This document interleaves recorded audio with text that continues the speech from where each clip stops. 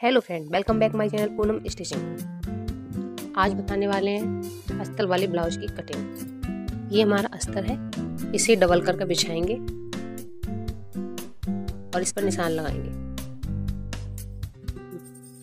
हमारे ब्लाउज में लंबाई है चौदह इंची, लेकिन हम पंद्रह इंची रखेंगे। आधा इंची ऊपर, आधा इंची नीचे।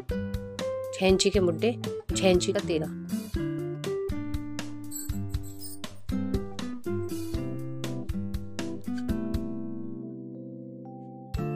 फिटिंग है अड़तीस इंची, जिसके चार हिस्सों में होगी साढ़े नौ इंची, और कमर की फिटिंग है इकतीस इंची, जो कि होगी सवा आठ इंची।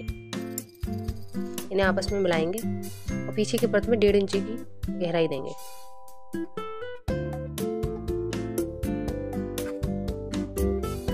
गले की लंबाई है साढ़े नौ इंची और चौड़ाई है ढाई इंची। ऊपर भी ढाई इंची रखेंगे, नीचे भी ढाई इंची रखेंगे और इन्हें आपस में मिलाएँगे। और पाँच सिप देंगे। चुन्नट ली हैं, चार इंची पर इसकी चौड़ाई है चार और लंबाई है चार। और इसकी कटिंग करेंगे।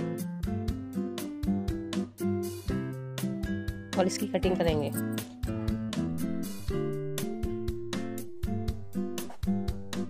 पीछे के पल्ले को काट कर आगे के पल्ले पर रखेंगे और छापेंगे। आगे के पल्ले को पीछे के पल्ले से दो इंची बड़ा रखते हैं।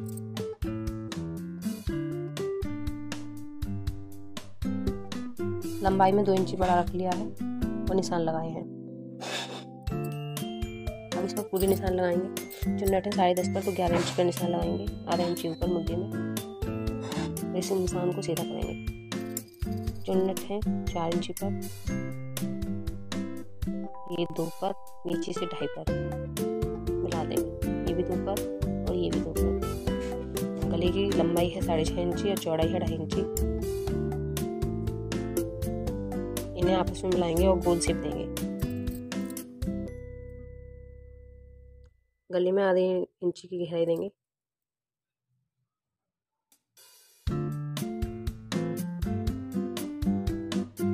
अब इसकी कटिंग करेंगे।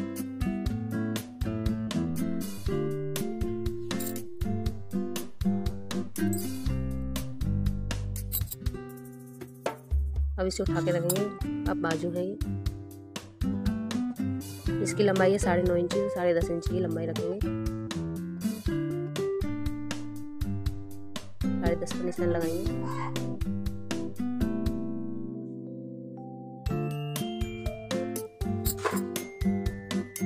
कटेंगे साढ़े पाँच। तीरा है साढ़े आठ। निशान लगाएँगे और मिलाएँगे। दो इंची का एक्स्ट्रा काटेंगे। कटिंग करेंगे।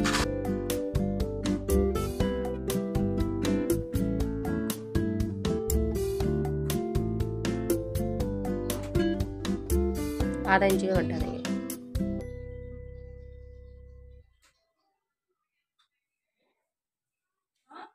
और निशान लगाएँगे। ये है साड़ी का ब्लाउज पीस जिसके ऊपर अस्तर कटा हुआ रखा है। इसके जैसा ये कट रहा है, वैसा ही सेम काटेंगे इसमें एक्स्ट्रा काटने की ज़रूरत नहीं है।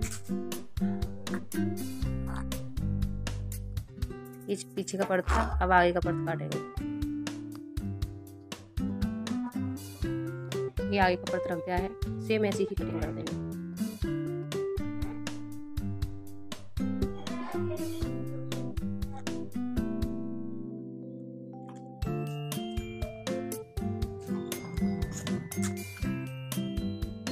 इसे साइड से रखेंगे अब बाजू काटेंगे बाजू के लिए कपड़ा रखा। अभी इसके ऊपर अस्तर वाली बाजू रखी है और कटिंग कर दी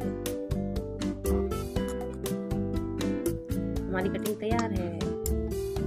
वीडियो पसंद आए तो वीडियो पसंद आए तो लाइक करें और आप चैनल पर नए हैं तो